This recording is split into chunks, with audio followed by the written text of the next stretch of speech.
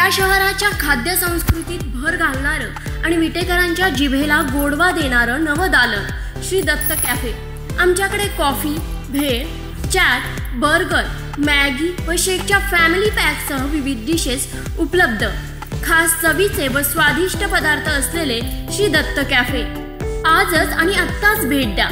आमचा पत्ता मणवंदिर हॉस्पिटलच्या समोर कराड रोड विटा. प्रोप्रायटर मुळीक बंधू. श्री दत्त कॅफेचा आजच होतोय धडाक्यात शुभारंभ. आजपासूनच आपल्या सेवेत रुजू होत आहोत. कोयना धरणातून अडतीस हजार सहाशे एकतीस क्युसेक्स पाण्याचा विसर्ग सुरू. सध्या सांगलीत अकरा फूट असणारी कृष्णा नदीची पाणी पातळी उद्या पंचवीस फुटापर्यंत जाण्याची शक्यता आहे.